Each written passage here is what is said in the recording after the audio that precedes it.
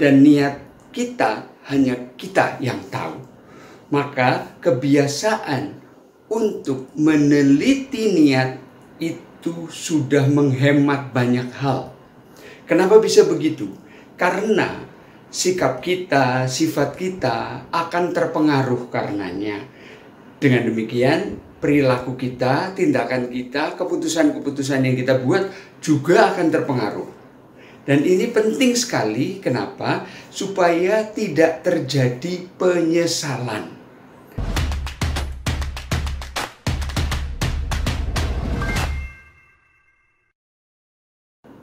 Salam bugar cukup rekan-rekan. Jumpa lagi dengan saya Sal Subekti Antonius Lukas, praktisi soft skill. Semoga rekan-rekan hari ini bugar cukup ya dengan terus berusaha belajar dan hari ini saya mau menyampaikan dua hal yang saya berharap kita sama-sama mencermati dan memelajarinya yang pertama itu kaitannya dengan motif, dengan apa yang kemarin dulu sudah kita bahas. Itu maknanya adalah eh, niat yang mendorong sikap orang, sifat orang, dan menjadi perilaku sehari-hari. Itu diawali dari niat. Dan yang kedua adalah eh, ajakan untuk eh, menyetop kecenderungan atau godaan kalau kita pengen membandingkan dengan orang lain. Oke, kita mulai yang pertama dulu ya rekan-rekan. Apa itu dan bagaimana itu motif atau niat perlu dikelola. Rekan-rekan, sebenarnya ketika orang mau maju, orang mau berkembang, orang konkretnya mau menjadi insan-insan yang bermanfaat atau yang bugar cukup itu penting sekali sadar bahwa penggerak semuanya itu adalah niat. Dan niat kita hanya kita yang tahu. Maka kebiasaan untuk meneliti niat itu sudah menghemat banyak hal. Kenapa bisa begitu? Karena sikap kita, sifat kita akan terpengaruh karenanya. Dengan demikian, perilaku kita, tindakan kita, keputusan-keputusan yang kita buat juga akan terpengaruh. Dan ini penting sekali, kenapa? Supaya tidak terjadi penyesalan. Karena apa? Tanpa meneliti niat dengan baik, sifat dan sikap akan terpengaruh, perilaku juga akan terpengaruh, dan bisa jadi apa yang kita putuskan ternyata tidak sesuai dengan rencana. Gara-gara apa? Gara-gara pikiran atau emosi yang tidak dikelola dengan baik. Maka dari itu rekan-rekan semakin orang mengolah niat, semakin orang meneliti niat, itu akan memudahkan siapa pun itu untuk semakin maju dan semakin konvergen antara apa yang dipikirkan dengan apa yang akan dinikmati di dalam hasil-hasil usaha yang selama ini kita buat. Maka salah satu cara yang bisa memudahkan ini adalah menggunakan catatan.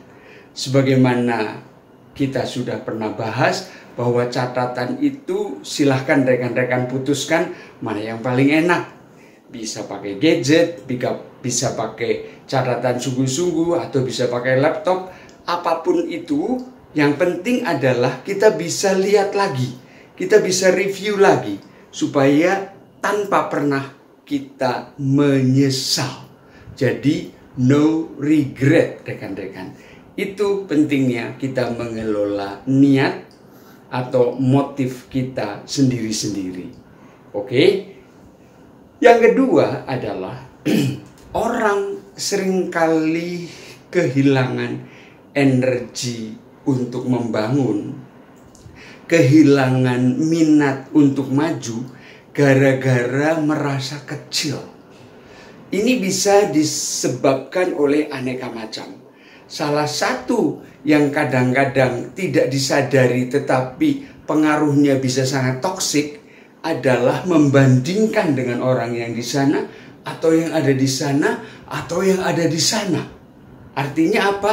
Yang kita merasa dia lebih hebat, kita gini-gini aja.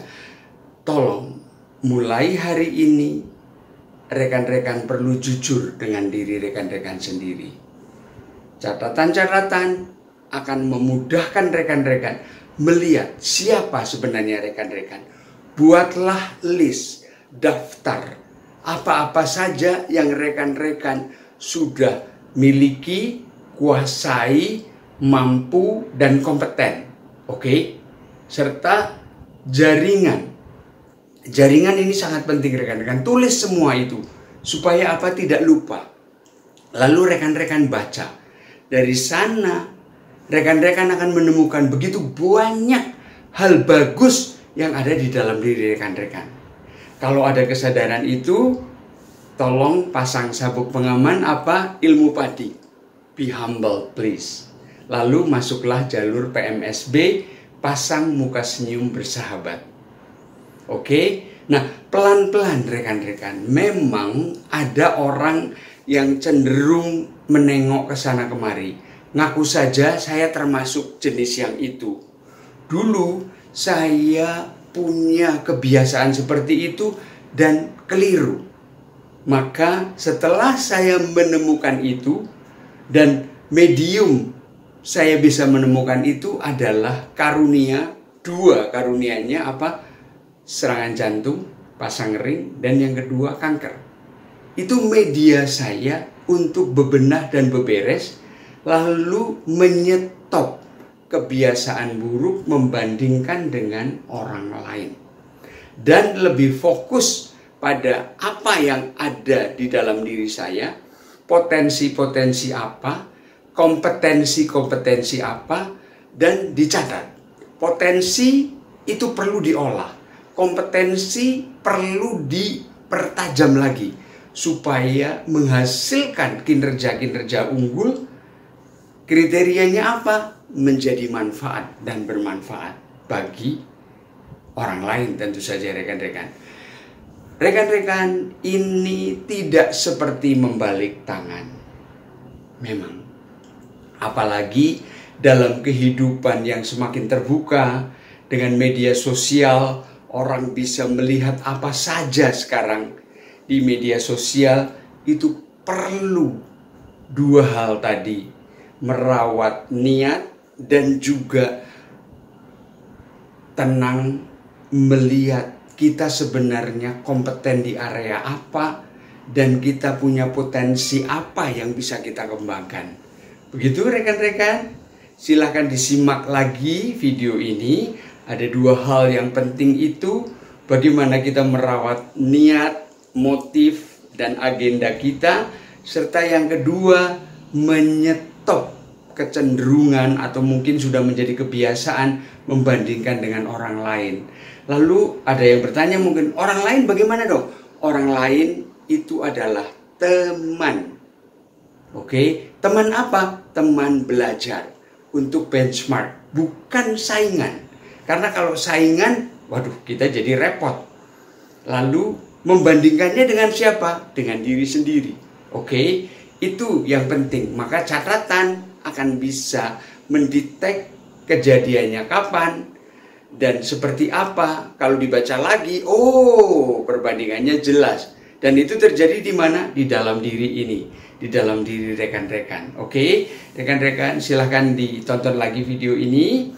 Buat catatan, siapa tahu konten video ini memang cocok dengan apa yang rekan-rekan butuhkan. Oke, kalau rekan-rekan suka, silahkan di like.